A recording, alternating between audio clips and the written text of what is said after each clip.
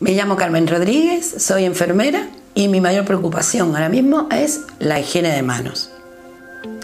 Debemos saber que las manos son la principal vía de transmisión de gérmenes y tenemos que tener en cuenta que todo lo que vayamos a tocar ya ha sido tocado antes.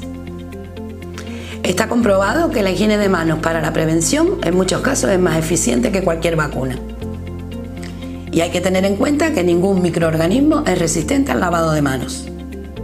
Haciendo caso a la Organización Mundial de la Salud y a uno de sus eslogans que es Salva vida, lávate las manos, vamos a aprender cómo se realiza esta técnica correctamente. La higiene de manos la podemos realizar de dos maneras, o bien con agua y jabón o bien con una solución antiséptica.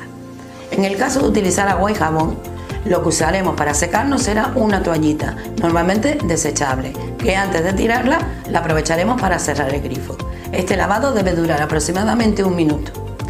En caso de que vayamos a usar una solución antiséptica, no necesitaremos secarnos las manos, ya que la solución se evaporará mm, directamente y eh, el lavado deberá durar aproximadamente medio minuto. En primer lugar, nos humedecemos las manos y echamos suficiente jabón. Frotamos bien las palmas entre sí y a continuación el dorso de las manos, aprovechando y dándonos también entre los dedos. Primero una mano y luego la otra.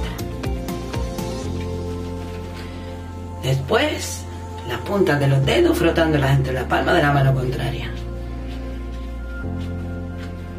Y por último, que no se nos olvide nunca, los pulgares, de forma circular. Primero uno y después el otro. Eh, tenemos que hacerlo aproximadamente durante un minuto. Enjuagamos bien y nos secamos con un papel que vamos a aprovechar para que antes de tirarlo con él cerramos el grifo. Ya tenemos las manos limpias. No olvides, lávate las manos, salva vidas.